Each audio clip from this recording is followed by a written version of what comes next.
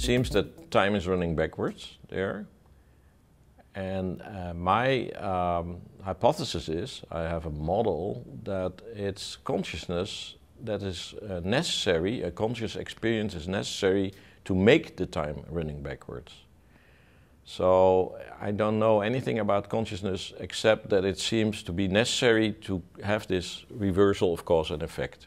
I think that about 50% of the population will uh, tell you stories, namely that they feel not well, they have some, some feeling that something is going to happen, uh, even before they can know that something is going to happen. So many people know this already, uh, but science has always been very reluctant to give up causality, because that's basically what it is. You give up causality here, it's you can call it retrocausality, but that's a big step. Experimental physicists in general say, okay, there are two solutions, but one we don't see, uh, it, so it's impossible. So uh, business is closed.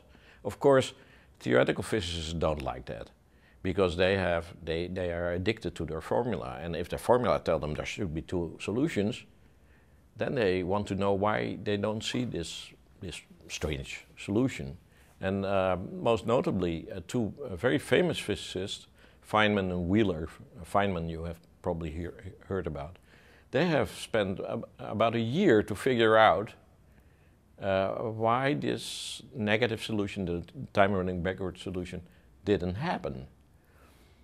And they came to the conclusion that it didn't happen, and then, and then you see also the relation to consciousness, I hope, that it didn't happen because in the cosmos, the cosmos was not in equilibrium.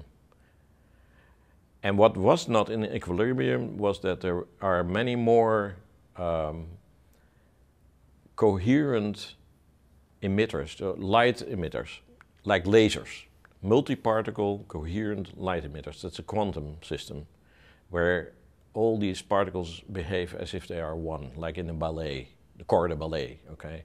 There's no individuality left, everything, it's one thing. And in a laser that emits light, there's nothing similar that absorbs light. There's not, what they said, there's not a multiparticle coherent absorber. But that's here. So suddenly there is this multiparticle coherent absorber, the brain uh, producing consciousness can be seen like that. And if the, those absorbers are there, then time should run backwards actually.